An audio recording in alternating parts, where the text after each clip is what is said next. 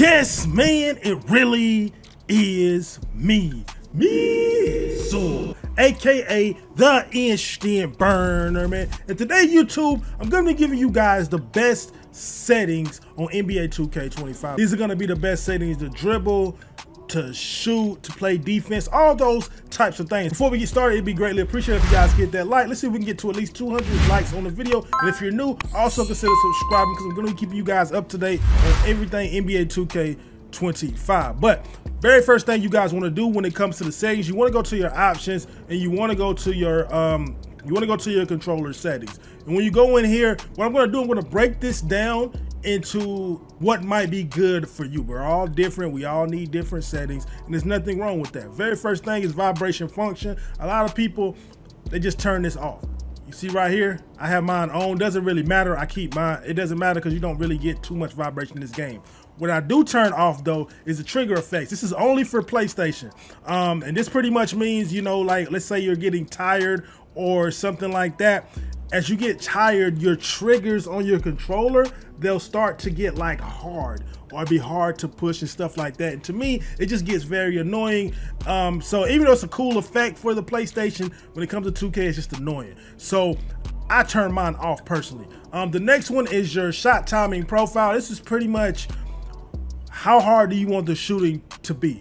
You know, if you have it on high risk, it pretty much means it's going to be green or miss. If you don't time the shot perfectly, um, is you're not gonna make the shot. You know what I'm saying? So I got mine on high risk. Um, if you're not a sweat or play a lot of 2K, what I would suggest is either normal risk where you can hit some whites where you don't have to time it right every every time. You can put it on normal risk or you can go low risk. I wouldn't go anything uh, other than those three. Um, don't go real player percentage or difficulty based, not good ones. So really depends on you right here. You can't really go wrong if you want to with normal risk reward. The next one is layup timing. Layups are kind of eh, kind of iffy in this game. Uh, in my opinion, the only two that you should be going with is either real player percentage. Is pretty much no timing required. All layups are based off your real players percentage. So pretty much if I got an 80 layup, you're gonna hit around, you know what I'm saying, around probably 80% of those layups. Uh, so me personally, I got this on no on real player, you know, just so I don't have to time it. But to be honest, I'm thinking about putting this on low risk just because sometimes I just miss some of these. Right, matter of fact, we're gonna do it right now. Just because sometimes I just miss some of these open layups that I feel like I shouldn't miss. Um, you'll be able to control a little bit of that if you put it on low risk. Just like with the shooting, um, you you won't have to green everything if you put it on low risk. Um, so it's gonna be very very forgiving when it comes to your timing. Uh, the next one is your free throw timing. You can either put it on user timing and real player percentage. Me personally, I'm keeping that on user timing. Not changing that one. Shot timing, visual cue. This right here only matters. This is pretty much where you want to release the ball at. You see right here we have jump. Jump is the fastest. Um, you have set point, then you have push, then you have the slowest release. It's pretty much where you want to release the ball on your jump shot. If you make a custom jump shot, disregard this option right here because you'll be able to go in. Matter of fact, I'll go ahead and show you right now. If you make a custom jump shot, let me go ahead and go in there just to show you guys. Um, I'm trying to make this as explanatory as you can. Um, so let me go ahead and go into a jump shot. Let me just pick this jump shot. So if I go into this jump shot, you see that the top visual cue, that that is what tells you, let me go right here. This is what tells you where you can release the ball at right here. Um, like I said, you really got to tinker around with this. It's no good one. Me personally, like I like to have mine around push and release. Um, but you just got to tinker around with it, play online, and find what pretty much what works for you. So you can really disregard this option in here if you are making a custom jump shot. If you're not making a custom jump shot using like an NBA player's jump shot, then you would have to go with this one right here and just, you know, figure it out. Uh, the next one is your shot meter input. This one right here, we're gonna go into the, uh, the, the, the HUD settings later, but this is pretty much a HUD setting. What do you want your meter to be on. You know what I'm saying? You do you want it to be on shot button only? Do you want it to be on pro stick or do you want it to be on everything? If you want this to be off, you have to change it in the custom HUD later. Um, so I have my meter off, but I had to change it in the custom HUD. So I wouldn't have to worry about this setting. Like I said, I'm going to show you guys later what that is. Okay. The next one is your pro stick function. Whenever you see pro stick on here, it pretty much means your right stick. Pro stick is your right stick. And pretty much what your pro stick function is, what do I want my pro stick to be on? Do I want it to be on default? If it's on default, that means you can you can shoot with your right stick. A lot of people are using the new feature called the rhythm shooter where you flick the, the stick down then up and it gives you a bigger green window if you want to use that option you have to have this on either default or shots and with default, you know, you can use the stick to lay the ball up. You can use the stick to dribble, all those type of things. Um, if you it on dribble moves, you will only be able to dribble with your with your right stick. Uh, and if you got on shots, of course, you'll only be able to shoot. Um, me personally, I keep mine on default. I do have a friend who is a very great, he's a great shooter, man. He told me, he said, yo, I'm a spot up. He's a corner sitter. You know, he's a he's a role player on the game, which is nothing wrong with. Um, but he was like, yo, I can shoot better with my right stick if I just keep this right here on shots. So he doesn't dribble. He doesn't have any dribbling on his build. So he just has his own shots. So it's really a personal preference. But since I am a guard, I have to have this on default. And I like to control my dunks, my layups, and sometimes I like to rhythm shoot just a little bit when I practice. So I have mine on default. But it really just depends on you. The next one is your pro stick orientation. And, then, and you have two options. You have camera relative and you have absolute. Absolute pretty much means wherever you are on the court, up is up, right is right, left is left doesn't matter where you are on the court. If you put this on camera relative right here, it means depending on where you are on the court, like your right stick is gonna be a little different. So let's say I'm dribbling. If I'm dribbling and I'm on the right side of the court, let's say I wanna do a crossover, which is to the left, just straight over to the left. If I have this on absolute, it's just gonna be left on the right stick. If I have this on camera relative, it's really gonna depend on where I am on the court. If I'm up the court a little bit, it might be diagonal to the left down. You know what I'm saying? It just gets kind of confusing if you have it on camera relative. So just a rule of thumb, man, absolute is what I would go with with this right here. Just so you just so you can keep it simple. You know, if you want to have your hand up on defense, it's just up. You know what I'm saying? So you don't have to really get confused and be like, yo, why is my player not doing what I'm telling him to do? Just keep it on absolute. Off ball, offense mode, same thing, man. You can put it on. It doesn't really matter with this one, pretty much, man. Absolute or camera relative is damn near the same. Um, double team reaction. This is pretty much my career type stuff. Help defense. This is my career stop type stuff. You know, um, call for a pick and roll versus fade. This is manual. I pick mine on manual. You can't put it on audio, but you want to be able to call your own PNRs in my career and stuff like that. So I'll just keep this on manual.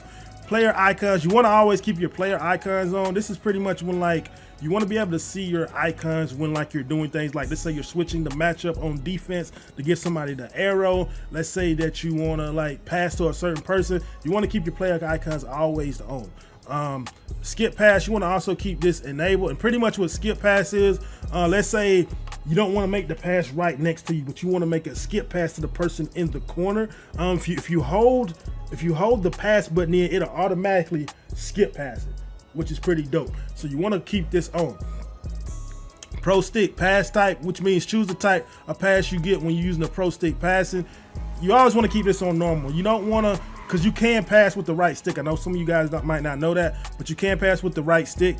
Um, and you don't want to be having flashy passes, but getting turnovers because we all know the lanes are kind of crazy right now. You want to, you don't want to have any wasted movement, so you want to just keep this on normal right there. Um, icon passes. Uh, how do you how do you want it? Do you want it on default when passing icons? You will immediately throw the pass. Do you want on full receiver mode when pass? You will temporarily control the receiver. No, that's pretty much like this is my career type stuff. So you pretty much just keep that on default. Just keep that on default. Same thing with this receiver control. Just keep it on what it is, man. Just keep it on receivers, gets open. Um, hold for a lob pass, skip pass, cut to the basket. Again, this is my career type of stuff. You can make it for the skip pass, or you can make it to cut to the basket. Me personally, I'm just gonna keep this on skip pass. And the next one is passive dribble hand switches. This pretty much means um let's say you're like dribbling and you stop dribbling. If you have it on passive if you have this on enabled like your your your player will like he'll switch hands automatically with the ball in his hands. And i would keep this dis disabled just for the simple fact man if you're trying to combo up you don't want your player automatically changing the ball over to this hand to that hand without you even flicking a stick to that direction. It'll just mess up your combo. So me i turned this off to disable because i think it starts with start its own as enabled. Um, the next one is your pro stick, pro stick defense. To be honest, doesn't really matter. Actually, let me go ahead and change this option. I want mine on absolute. Uh, pretty much means because you know on this game, if you want to have your hands up, you can either flick, you can hold the stick up or you can hold it down. Again, with absolute, it's gonna be the same anywhere on the court if you have this on camera relative on the left side of the court it might be diagonal to the left to the right. You know what i'm saying? So i'm gonna go ahead and change this uh actually to absolute right here. Uh, so we're gonna so we're gonna do that right there. Shading indicator just the shader under your player um, to show how you're playing defense on somebody. Um, not a big big deal. The next one is who to guard. Personal preference. I know a lot of people that turn this off because they feel like they don't get drug as much uh, when they're switching on defense and, and stuff like that. So you really pretty much you can go with this on or off. Me personally, I just keep mine on just so I know who I'm guarding. I know how to switch the arrows very, very quick. If you guys don't know how to switch who to guard on this game, pretty much what you do, you press R1 or you press RB on Xbox. Then you press the, when your icons come up, you press the icon of the player that you're guarding right now. You know what I'm saying? So if you're a point guard and you want to guard the two guard, what you're going to do, you're going to press R1, then you're gonna press circle and you would switch the arrow to your to the two guard. You know what I'm saying? You'll be guarding him. Same thing on the inbound. Some people switch on the inbounds real quick. That's how they do it. Um, so that's how you do that with the who to guard. The next one is your box out strength. Actually, we're gonna change this right here. I'm glad I'm making this video for you guys because I'm also changing a couple of these things too. Um, box out strength is pretty much how much how much assist do you want when you're trying to box out a player. If you're a guard, I wouldn't see you putting this on anything need to have, I feel like this should be pretty high, around like 70 to 100, because sometimes you need that box out. You need all the help you can get, especially when you don't have box out, you know what I'm saying, box out beast or something like that. If you are a big man, you pretty much got to play around with this right here, because it's sometimes when you don't want to box out a certain person and you don't want the game to make you box that person out. Sometimes you just want to jump or something like that. So you have to really play around with this if you are a big man. But this is my point guard right here. So we're gonna so we're gonna go pretty, we're just gonna go pretty high. We're gonna go with 100 right there. The next one is your pass target profile. This is pretty much how do you want to pass on this game? Do you want it to be default? And I would suggest that you guys try pretty much icon everything in my opinion, man. If you icon if you icon everything, bro, you won't have to worry about 2K messing you up, being you being you being like, bro, I wanted to pass to this person, not this person. So my rule of thumb is to icon. If you just can't icon, bro, what I would do, me personally, I like to try to have the stick, put the stick in a certain direction, then press X. So me, I'm more of a direction type of person. Some people are more of a openness type of person. As you see in this clip right here, you see right here, I didn't have time to really icon pass. I needed to touch past that. So what I did, I held my stick to that direction to where he was. Then I passed the ball and then threw it right to him. So in my opinion, me personally, bro, I'm more of a direction type of person right here. Oh, I went all the way out. I'm sorry. YouTube, let me go back in here. went all the way out. So I'm over direction. Then what I did, what you can pretty much do, you can pretty much just figure out how you want to do it. You don't have to pick one of those if you don't want to. You can go with it's gonna be custom if you change it, so you can you can customize it. Just depends on what you like. You know what I'm saying? You don't like the really icon. You're, you're new to the game. You want 2K to pretty much figure out who to pass the ball to. You can just put this up. You know what I'm saying? I wouldn't put it too crazy. Um, because you don't want to miss out with a person being right beside you. You end up in 2K thinks somebody else is open.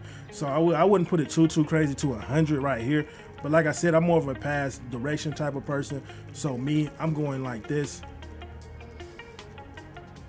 I'm going I'm going something like this, me personally. Just play around with it to be honest. But that's it for that. Now let me go ahead and show y'all the custom HUD. Like I like I was telling y'all guys early, to get to the custom HUD, what you want to go to, you want to go to my player, then you want to go to your animations.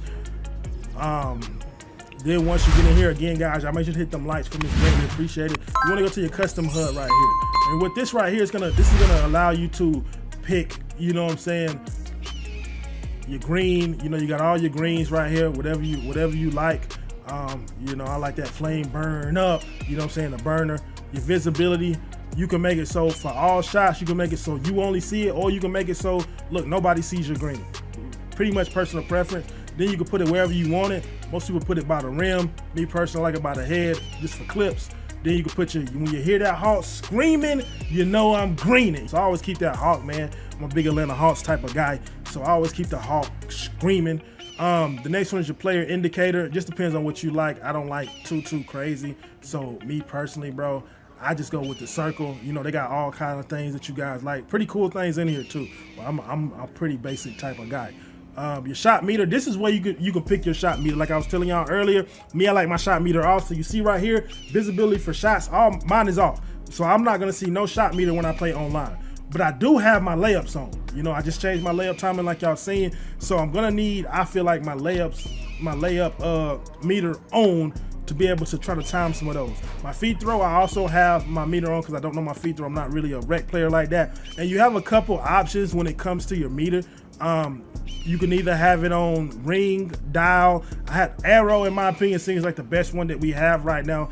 Um, I don't really like any of them really, but that's the best one we have. Um, then you can pick the color. I like the you. I like purple on mine just so I can see it better. Uh, let me go ahead and can I show y'all? Will it pop up? Yeah, let me go ahead and show y'all so y'all can see how it looks. Okay, so that looks like that. Me, I like mine on large. You know, it's still kind of small in my opinion. You know, it might be my old eyes, but you can make it small, medium. You can make it small. Small is too small. That's kind of crazy. But I like I like mine large right here. So we're gonna go with that. Like I said, I like mine purple. I just feel like purple, purple or yellow. Yellow's a good. I might actually change that. Yeah, purple or yellow seems like the best colors. Green's solid too, but it seems like they just, they just show up the best in my opinion. White, nah. Orange, nah. Yeah, purple or purple or yellow. I'm thinking. I might. I'm gonna, I'm gonna go to the yellow size large. And i like mine to the side. You can pick to the side. You can make it by your head as you see right here. You can make it by your feet. Just depends on what you like. Um, i'm gonna pick mine by the side again right there. Um, then what you got Terramoeba icons. You don't really need all this. The next one is your shot feedback. Um, i like to have my shot feedback on everything just so i can see if i'm pressured you know, and stuff like that. You can make it so it's only free throws, so it's only you. Uh, you can you can make sure it's off, or you can put simple. You see simple, that's simple right there. I don't really like simple, you know, so I want to see the coverage of things. So me, I keep mine on all shots. I like to see the distance right here um, of the shot that I just took. The timing of the shot is it slightly early, slightly late. Uh, so in my opinion, I'm keeping that on. Your free throw chance, I always also have that on, and the coverage, like I said. So I like to have that on. Let me go ahead and turn my shot meter back off before I forget. Go up out of here. Um, uh, next is your HUD visibility, just on. I would always have this on, the panel on, the takeover panel on, just have all that on. Um, and that's pretty much that's pretty much it right here. This is just the play notification, sub notifications. I will just keep all this on. Um, then you have your ball trails. I'm not I'm not a big ball trail type of person. I feel like the frames kind of mess up when you have the ball on. Um, so that's pretty much it for everything. I hope this made the game easier. I hope this gave y'all a better understanding of the controller settings. Again, if you guys could, it'd be greatly appreciated if you could hit that like, subscribe if you're new, and make sure if you are subscribed to hit that bell and make sure that it's on on so you never miss a video from the burn. And y'all already know who it is. Burn up.